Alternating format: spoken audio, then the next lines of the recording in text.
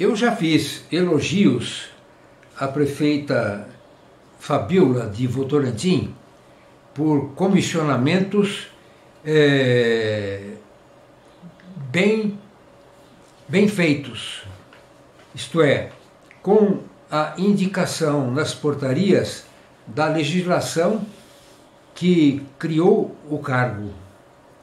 Mas, examinando o Diário Oficial de Votorantim do dia 15 de janeiro, eu já notei uma, uma falha que eu quero expor aqui, mas como eh, contribuição para esclarecimento público.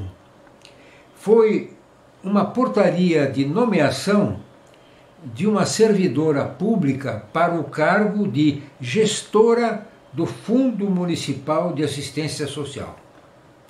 Na portaria de nomeação, a, a prefeita citou a lei municipal que criou o fundo.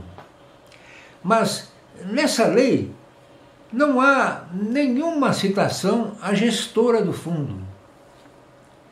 Então, não adianta citar uma lei que não tem relação direta com a nomeação feita.